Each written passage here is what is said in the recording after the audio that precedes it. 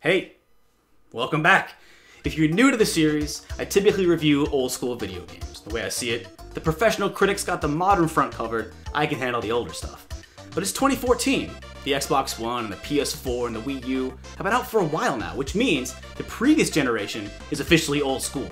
So as far as I'm concerned, it's open season on PS3, Xbox 360, and the Wii generation of games. And what an interesting generation it was. I was so happy to see games like Spec Ops The Line and The Walking Dead get the recognition they did. It was great seeing games like these challenge the medium and its audience. But let's not get carried away here. It was also a great time for video game ass video games. Saints Row 3 and 4, 50 Cent Blood in the Sand, let's not delude ourselves. Video games are still at their best when they're fucking dumb. The previous generation showed that there's room in this world for the likes of Depression Quest, Parodius, and Gone Home, but let's not pretend we don't sometimes have an insatiable need for games that get all the way dumb.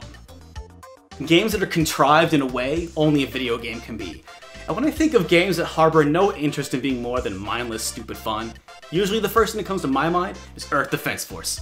And no, I don't mean Super Earth Defense Force for the Super Nintendo. That's different, and no one cares about that game. This is a battle for humanity. We all pray for your success.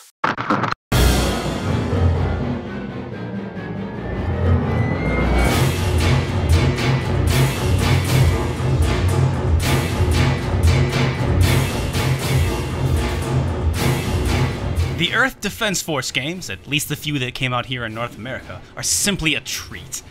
With incredibly simple gameplay that's self aware enough to know how to play to its strengths, and a gilded sheen of unabashed schlock and camp without ever the need to be crass, Earth Defense Force is some of the most unadulterated fun you can have with a video game. There are three and a half games currently available in the US, though I will only be talking about one today. Still, all three strive to deliver a special stripe of addictive power fantasy ridiculousness. A dedication to a remarkable sense of scale, gargantuan skirmishes with humongous weapons and even bigger enemies, and hilarious, tongue in cheek dialogue create an experience that more than compensates for its numerous technical shortcomings. Yes, these games are far from perfect, and make no mistake, EDF ain't for everyone. While the core concept of big guns and big bugs is incredibly well done, there really isn't much more to it than that.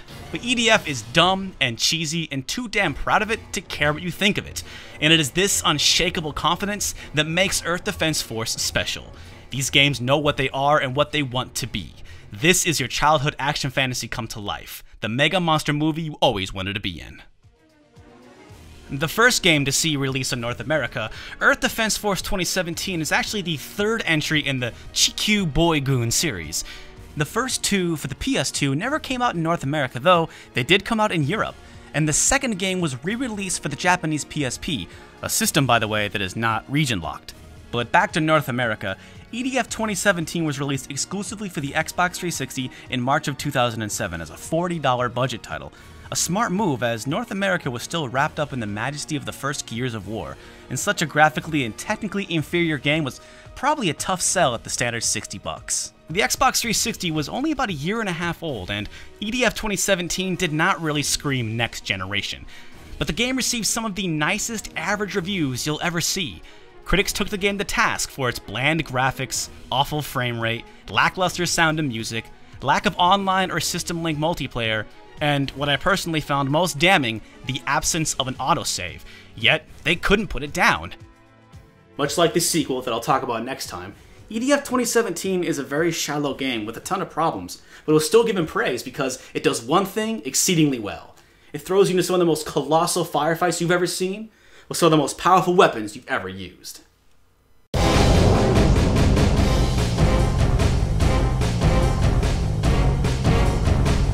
EDF 2017's triumphs as an action game are numerous but subtle, so let me break it down. First is the sense of scale. This has less to do with how big things are, but how huge the draw distance is. Hundreds of giant ants aren't threatening if you can't see them, but 2017's levels stretch for what feels like miles, and though early in the game your view is obstructed by buildings, the later and more difficult levels place you in a veritable wasteland where enormous armies of robots, dropships, ants, and spiders choke the horizon. This beautifully matches with the range and power of your weapons. Rockets, shotguns, sniper rifles, turrets. With over 150 weapons and a dozen classes, EDF 2017 leaves you outnumbered but never outgunned. Huge plumes of green or yellow bug blood cloud your vision, well placed explosions send bugs soaring hundreds of feet into the air, and the way robots and dropships explode and come crashing down is poetry in motion. 2017 works because its combat is enormously satisfying. And 2017 wisely supports the action by making sure nothing gets in the way of the fun. There is no penalty for destroying buildings or killing your teammates, and you literally cannot hurt innocent bystanders. Ammunition management is non existent, as all but a few special weapons have unlimited ammo.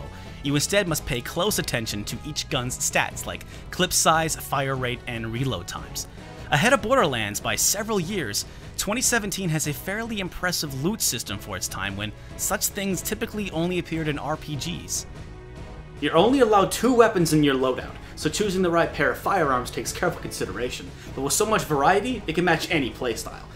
Though how you collect new weapons and increase your HP is a bit archaic, but I'll save that for later.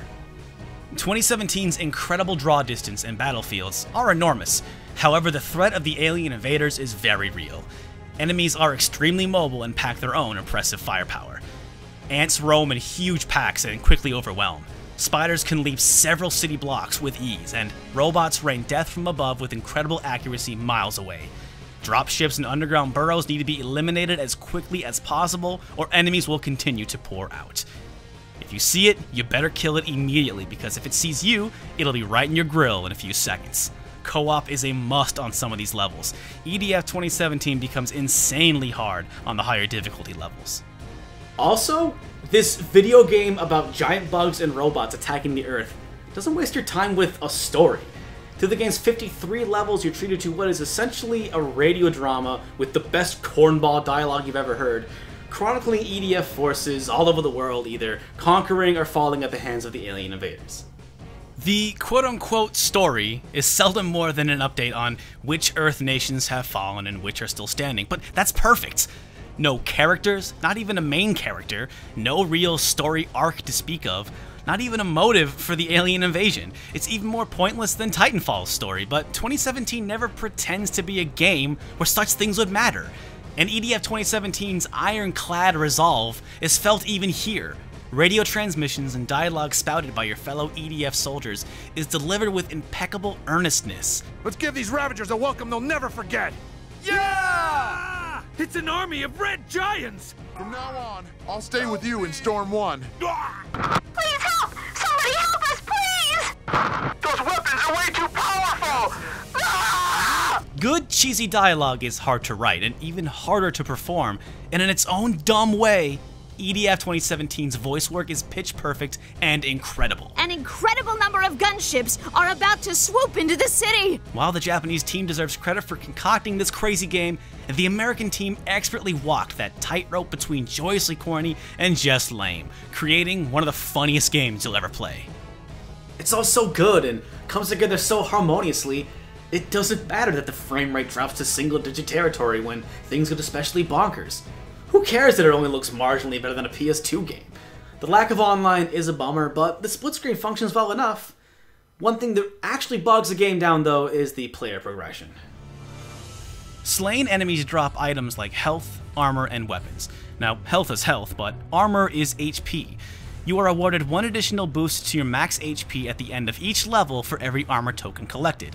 So instead of some kind of scoring system that rewards kills or a combo system of some kind, you have to run around and pick up your HP increases. As mentioned before, levels become incredibly hard on higher difficulties.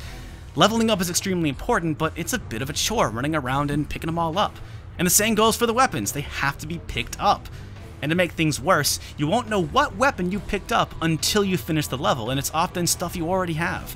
You're encouraged to try out the harder and inferno difficulties because that's where the best weapons are kept, which is great for gated progression, but the game becomes so incredibly difficult that even the first level on Inferno is something you probably won't be able to complete until you finish the campaign a couple of times. But these could be chalked up to design choices, conscious decisions by the developers. Whatever the reason, this is how they wanted their game to be, and truth be told, all the stuff ain't so bad, and it makes for an excellent podcast game. No, the truly awful thing about EDF 2017 is the lack of an autosave. Even in 2007, this was inexcusable. I mean, let's say you've been playing the game for a few hours. You've unlocked a couple awesome guns, beat a couple super hard levels, and added a couple hundred points to your max HP. You think, because this isn't a PlayStation 2 game, you can just turn it off and come back later. But if you don't go to the save menu and manually save your game, you will lose everything you've achieved that day. It's a mistake you'll only make once, but it's a mistake that shouldn't even be possible. Of the game's numerous problems, this is the one that's completely unforgivable. Another minor complaint may be that there's so much game here. Five difficulty levels means you're expected to complete the game's 53 levels five times through. Yes, that means beating the game on normal does not clear it on easy. Five times through. Which, for such a simple game, makes for a super high risk of burnout. It also technically means I have not played it to completion. Though, on a personal note, I bought EDF 2017 before I actually owned an Xbox 360. The footage taken for this review is my third time through the game, but the first time on my own 360. Having put well over 100 hours into this game over the years, I feel like I'm qualified to review it. The American-made sequel, Insect Armageddon, I've unfortunately spent less time with than I'd like to. I don't think you have to beat a game 100% to be qualified to review it, but next time, I'm gonna get the expert on the phone, and we're gonna talk about Insect Armageddon. I'll see you soon. Thanks for watching.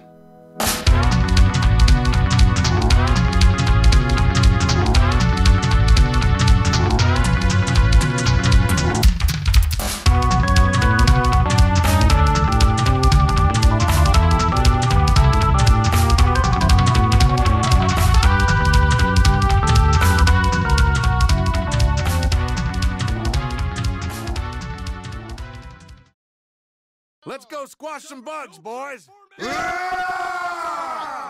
you don't want to die, keep shooting. Come this way and I'll kill you. I'm out of ammo. Come. Yeah, you're welcome. Die. Just a scratch. Just a scratch. Just a scratch. Just a scratch. I'm gonna fight by you till I drop, sir. It's those bugs again. I think they're attacking civilians. I'm going in. HQ! The enemy robots are equipped with new weapons! Our unit's been hit badly! The super robots! They're destroying our town! Please, help us! Ah! It's time to show that beast what the EDF is made of. Ah!